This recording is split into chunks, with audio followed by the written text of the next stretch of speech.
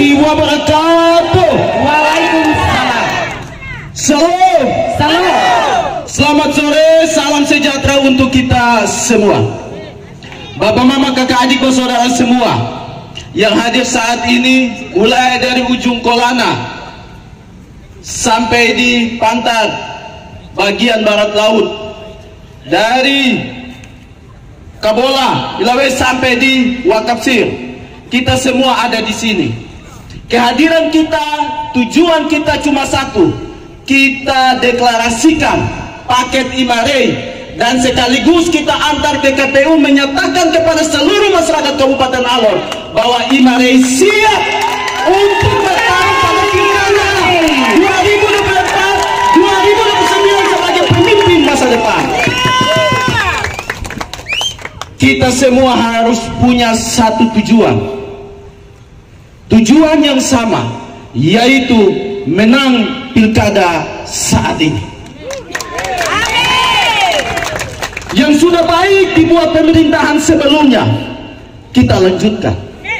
Tapi pemerintahan sebelumnya ada banyak yang masih kurang.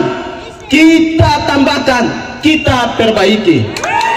Karena kami menilai bahwa pembangunan itu berkelanjutan.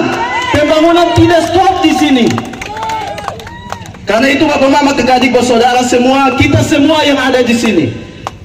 Kami atas nama paket Imare menyampaikan terima kasih yang sebesar-besarnya untuk kehadiran kita semua di sini. Menyampaikan kepada seluruh masyarakat Kabupaten Alor bahwa kami ada. Bapak Ima empat kali maju saat ini. Tapi komitmen dirinya besar untuk bagaimana membangun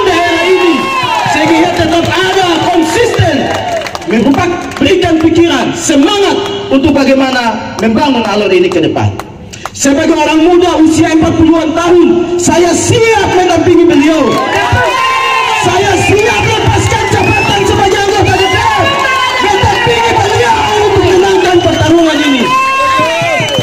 Tidak usah khawatir gunakan kemampuan yang kita miliki setiap kita yang ada. Sumber daya yang kita miliki mari kita rebut kemenangan ini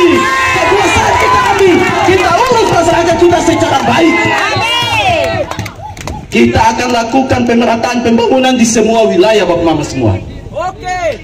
Paket ini saya mau bilang kepada kita semua paket yang nasionalis religius.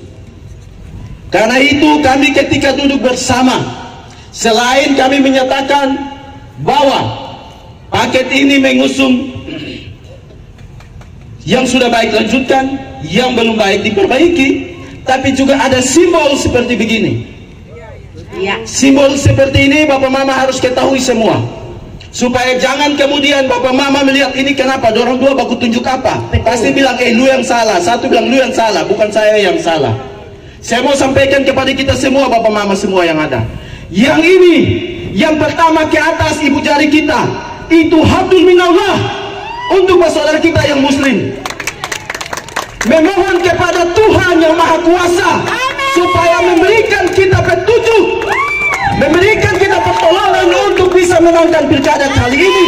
Dan setelah itu kita ada pada yang istilahnya sebutan kita bahwa habdul minanas. Habdul minanas itu ada bagaimana kita melayani sesama manusia, bagaimana kita punya hubungan dengan sesama manusia. Untuk bersaudara yang muslim seperti itu. Untuk kita yang Kristen juga sama. Bagaimana kita meminta pertolongan Tuhan sebagai manusia, kita harus meminta petunjuk daripada Tuhan. Dan karena itu setiap waktu harus meminta pertolongan Tuhan. Dan setelah kepercayaan diberikan oleh masyarakat atas restu Tuhan, kita pakai untuk melayani masyarakat. Setuju Bapak Mama? Itu makna yang pertama. Makna yang kedua Bapak Mama semua. Yang ke atas ibu jari. Itu inisial I, Immanuel. Oke? Immanuel. Kalau dia tambah ini menjadi L, menjadi Lukas. Jelas? Oke? Maka Immanuel Lukas ini paket Imare. Oke? Siap, siap. Jadi bapak mama kalau kembali ke rumah masing-masing, kemudian ada cerita-cerita ditulis ada baku tujuh bilang lu yang salah satu bilang lu yang kasih tahu bukan itu. Itu bentuk permohonan kepada Tuhan yang Maha Kuasa. Amin. Ya seperti itu Bapak Mama. Yang berikut kalau Bapak Mama lihat di baliho kami ada menggunakan kopiah. Kopiah itu tidak sembarang dipakai. Itu lambang keberagaman kopiah kami gunakan. Bapak Mama saudara sekalian hadir di tengah-tengah kita pengurus DPW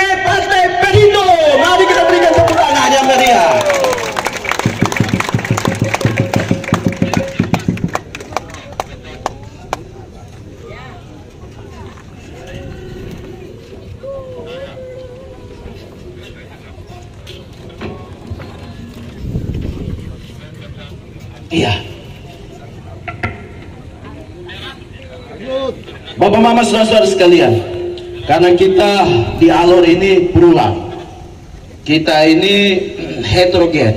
Karena itu kami harus menggunakan kopiah ini. Bapak Mama juga ketika melihat kami menggunakan sal, kami menggunakan selendang, itu kami menghargai keberagaman Bapak Mama saudara-saudara sekalian. Ya. Dan supaya Bapak Mama ketika ditanya kenapa mereka seperti itu, ya itu sudah. Jawabannya sudah saya sampaikan kepada kita semua yang ada. Bisa berikan penjelasan kepada keluarga kita nanti pulang Bapak Mama semua? Bisa. Baik. Yang terakhir kami minta dukungan doa kita semua Bapak Mama.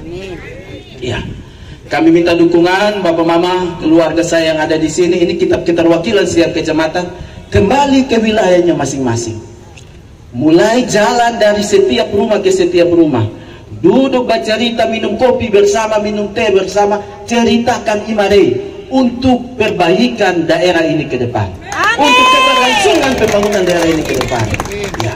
Saya pikir demikian sedikit yang bisa dapat saya sampaikan Bapak Mama. Kembali nanti sebentar, tetap tertib, tiba dengan selamat bersama keluarga.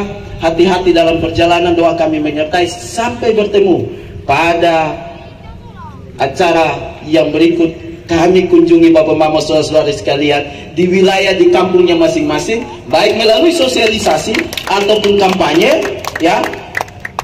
Kita akan bertemu di tempat kita masing-masing. Tuhan memberkati kita semua. Wabillahi taufiq wal hidayah. Assalamualaikum warahmatullahi wabarakatuh. Salam. Selamat siang. Salve. Salam sejahtera untuk kita sekalian. Terima kasih. Tepuk tangan dulu buat 02 Bapak